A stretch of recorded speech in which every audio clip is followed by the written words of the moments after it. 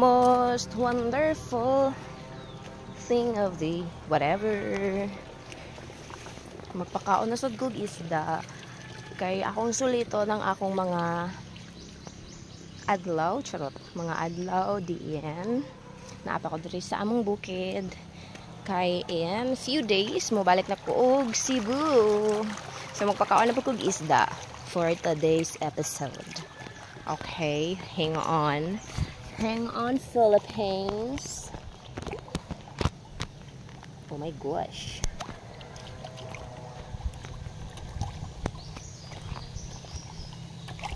Hello, good morning.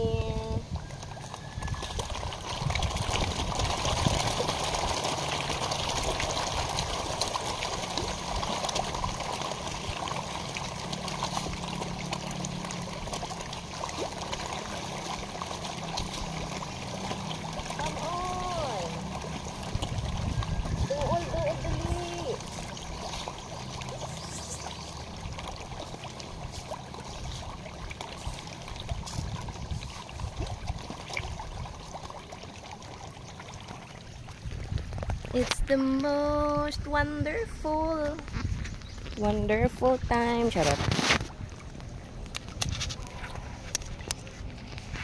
Ang lisod naman.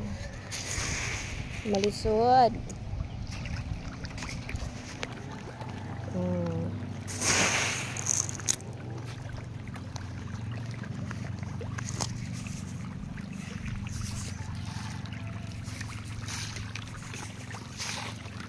Lunas niya. Dapat rare. Rare. Okay. Laracillo. Laracillo.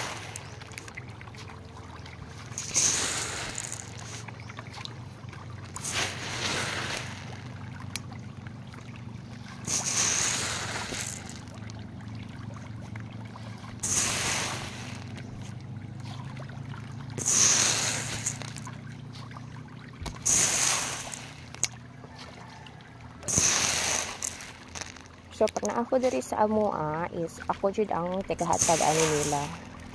So, dili din nila tagaan pag dili pa ko mo or dili pa ko mo mata.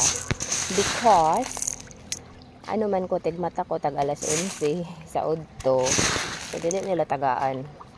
Kaya ako ra ilang pahatagon. And most of the time, pag mag-work ko, dito man ko sa ilang ka-auntie or ilang mami magstay, matulog kay stable man ang internet dito. Din hi kay unstable man kay ano sa bukid.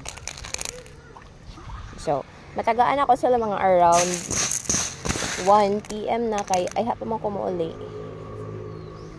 But before ko mo lusad na sad or mga kuan, tagaan po din nila.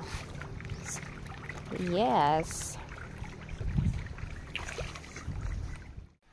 And that's it for today's video. See? Medyo dako-dako sad na siya.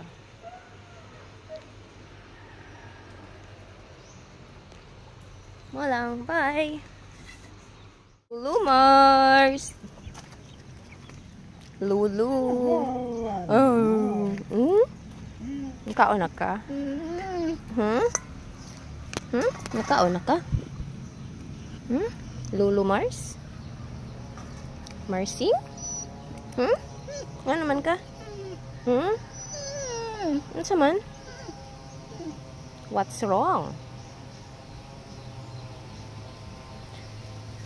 Among Lulu Mars nga kinapon nga 15 years old. Di di di.